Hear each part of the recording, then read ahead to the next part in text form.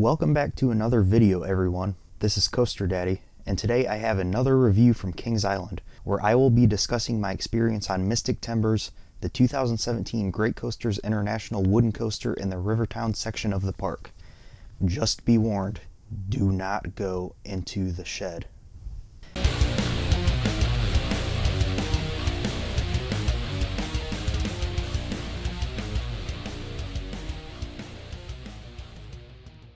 Mystic Timbers is my very first and so far only GCI coaster I've experienced. It is average size for a wooden coaster standing at 109 feet tall. It reaches a top speed of 53 miles per hour and features 3,265 feet of track. There's a tunnel featured on the turnaround as well as the infamous shed, which was really hyped up by the park during the advertising campaign for this coaster, which has sort of turned this ride into a meme within the coaster community. You will walk past Diamondback to find this ride, and you are greeted by a nicely themed area featuring an old truck and really nice aesthetics overall. It has a very similar feel to Twisted Timbers, but also a slightly different story, though that story is pretty vague. The station is also decorated quite nicely and you can tell they put good effort into making this ride look as good as it does. So overall, Mystic Timbers is presented very nicely, especially when considering this is a Cedar Fair park. Nothing elaborate as is expected, but still with a lot of care put into this ride. The entire structure of this particular coaster is also made entirely of wood, which really helps to sell the whole rustic feel of the ride and the theme of the Miami River Lumber Company. It is situated perfectly, like many coasters at Kings Island, among the trees, and this ride even goes over a small river, which is really cool and was a surprise to me when I rode it for the first time. It is a very isolated ride which really works to its advantage. Another surprise was the shed. I won't go into too much detail in case you don't want it to be spoiled, but you can find videos of it online if you are really curious. It's nothing too immersive though, just a really nice show section to keep you entertained on the brake run while you wait to get back into the station. Once you load into the super comfortable Millennium Flyer trains, which I must say are pretty spacious, you depart the station and make a slight turn to the right, traverse a small dip, and engage with the lift hill. This lift hill is a bit different from your standard lift, as it really slows down a little over halfway up. You hear these voices from the speakers telling you, don't go into the shed, whatever you do. After this, the chain then really speeds up, adding to the anticipation, and you go down the ride's first curving drop to the left. Like I said, this is my first GCI, and I was pretty surprised by how much I like this drop. Much better than I had anticipated. Following the drop, you will bank to the left, rise up into the second hill, then turn a bit more to the left and cross over the lift hill, where you will then dive down into the woods. After this drop, you go over the first of many small ejector hills, which also travels over the small river that runs under the ride, and I really like that. It works into the ride's theme very well and really makes you feel like you're rampaging through the woods on this wild adventure. You then go up into another really small hill, twist quickly to the right, then to the left, then go over a couple more small ejector hills which twist and weave their way through the woods, which is followed by the most intense part of the ride in my opinion, the turnaround which abruptly turns you sharply to the left while twisting down with very little banking. You are flying through this so fast and the lateral forces are incredible. It is also covered by a tunnel which adds a nice thrilling element.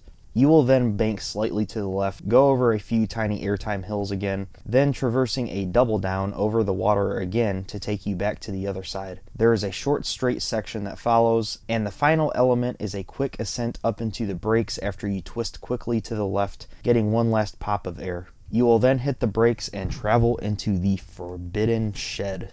I was genuinely really shocked with how much power this ride has. From POVs and watching it off ride, it seemed like a thrilling wooden coaster with a simple but exciting layout, weaving its way through the woods. What I got with my three rides, however, was insane ejector air, some great laterals, and a ride that speeds through the woods of Rivertown, whipping you left to right time and time again with some decent force.